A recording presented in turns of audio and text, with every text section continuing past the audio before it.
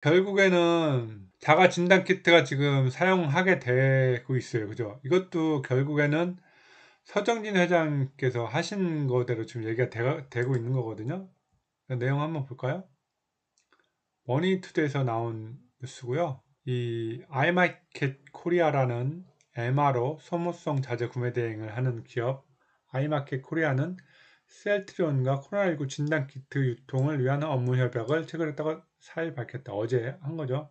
이번 협약을 통해 아이마켓 코리아는 기업과 정부 기관 등을 대상으로 셀트리온의 디아트러스트 코로나19 현장형 항원 신속 진단키트와 자가, 전, 자가 검사 키트 등 총 두 개 제품을 유통한다. 이들 제품은 15분 내로 감염 여부를 확인할 수 있는 진단키트다. 또한 셀트리온은 아이마켓 코리아가 진행하는 마케팅 영업 등 코로나19 진단키트 유통 활동에 필요한 사항을 지원할 계획이다.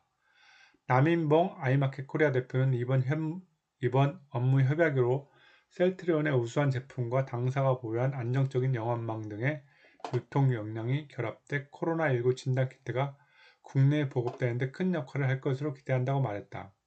여러분 이 셀트리온의 항원 신속 진단 키트하고 자가 검사 키트 이 두 개 제품은 어, 목적이 좀 틀린 겁니다.